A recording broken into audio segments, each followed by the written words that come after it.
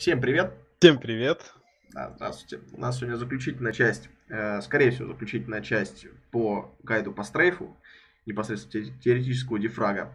Э, здесь мы вам расскажем некоторые маленькие особенности и более такие э, профессиональные тонкости, которые заключаются в стрейфинге.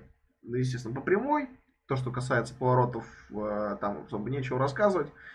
Вот. Э, Начнем с того, что в прошлом видео мы рассказали, как э, пользоваться снапзонами непосредственно до скорости там 1000, 1300 где-то юнитов приблизительно. Угу. Сейчас же мы расскажем вам, как набирать скорость уже по прямой а, более 1300 юнитов. Я думаю, стоит сначала показать а, показать уменьшение стампхуда. Да, давай. То есть, если вы допустим, вы стрейфите и не оттягиваете э, худ кнопкой вперед. Что будет происходить?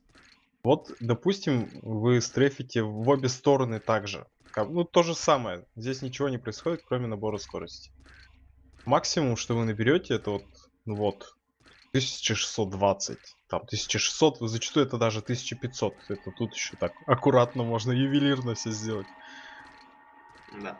Грубо говоря, по сути дела, то, что э, с увеличением вашей скорости, вашей модельки, э, снапход, он не меняется, меняется цигас, то бишь вот эта зеленая полосочка.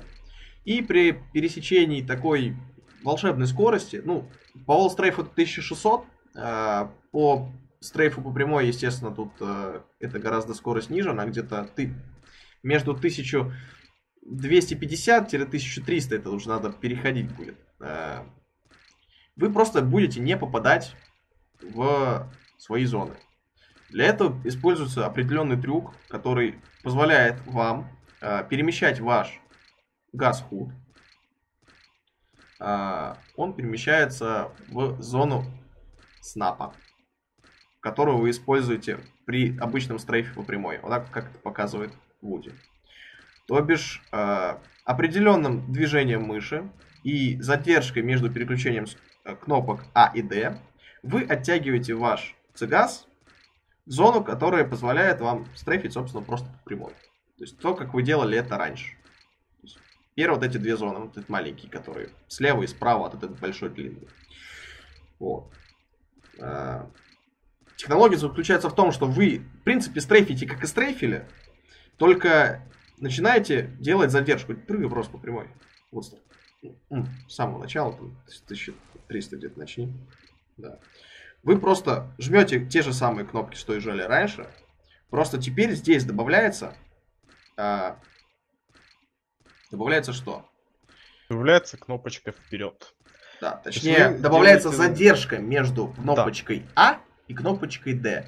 И постепенно, с увеличением вашей скорости, эту задержку нужно увеличивать. Потому что, вот, допустим, как сейчас, вот, видите, насколько стал маленьким цигас. То есть скорость там 2000 юнитов. Приходится задержку делать гораздо больше. То есть это вот такой вот маленький секретик для тех, кто не может набрать скорость чисто по прямой. Конкретно этой карты здесь вот можно вообще уходить влево-вправо, поэтому Вуди зажимает очень э, сильно кнопку W, его сносит, естественно, но при этом э, Цигас перемещается у него в его зону, которая позволяет стрейфить по прямой.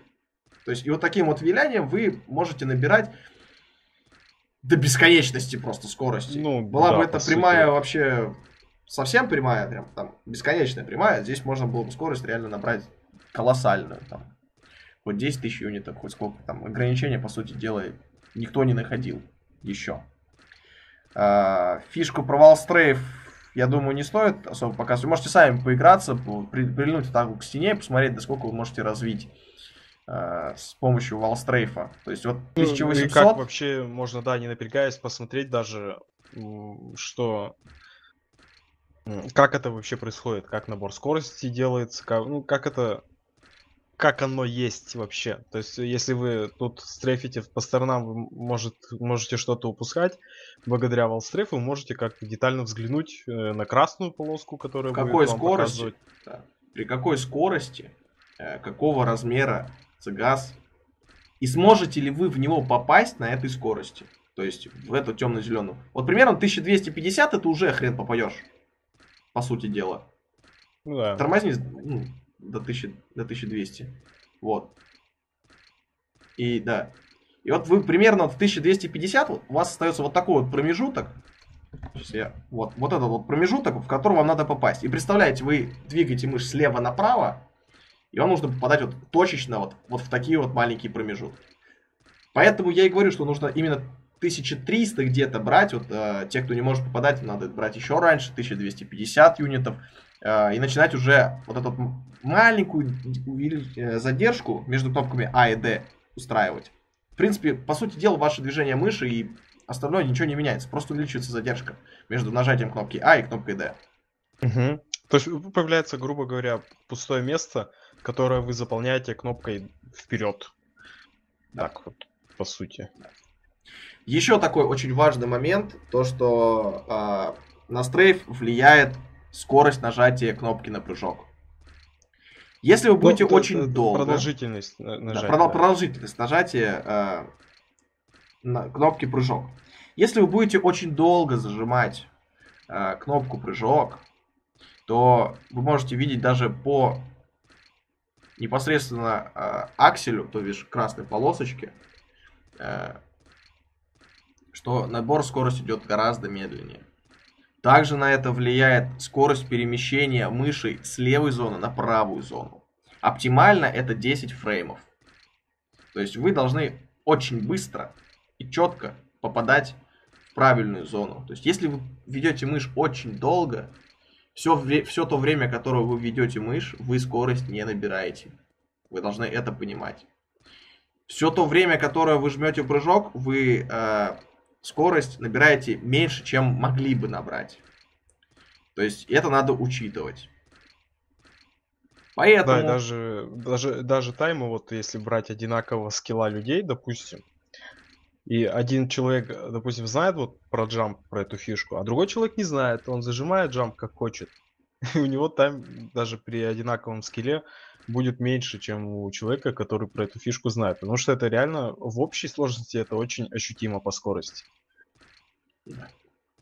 По времени прохождения. По сути дела, вы должны для себя, я даже не знаю, как сказать, выдрочить вот это вот понятие, что а, теперь понимаете, почему а, нужно и прыгать в, в один и тот же момент, когда вы переводите мышь слева направо. Когда мы объясняли вот в самом начальном видео, когда начинался только стрейф, то что это надо делать одновременно. Потому что вы, если это будете делать по поочередно, переводить мышь где-то в воздухе и нажимать прыжок, то есть вы э, удваиваете вот это то самое время, оно у вас, получается, складывается. Это вот время, которое вы не набираете скорость. Да, По сути ну, дела, вы должны для себя просто это усвоить. Mm. Что надо делать все быстро, без запиночек. Да, ну, с- сразу, естественно, к этому не придете. Поэтому все равно тихонечко, потихоньку вначале для себя поймите, потом э, это придет. Главное об этом помнить. Все равно, если сейчас начнете сразу быстро стараться, ты куда-то торопиться начнете, у вас ничего не получится. Поэтому лучше потихонечку. Главное, держите это в уме, что э, кнопку Jump нужно нажимать непосредственно только во время прыжка. Все остальное время она вам, грубо говоря, мешает.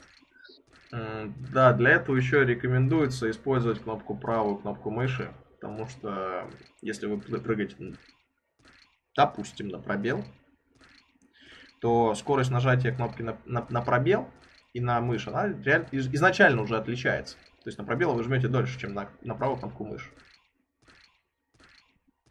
То есть э, еще здесь вот этот важный момент. По сути, все.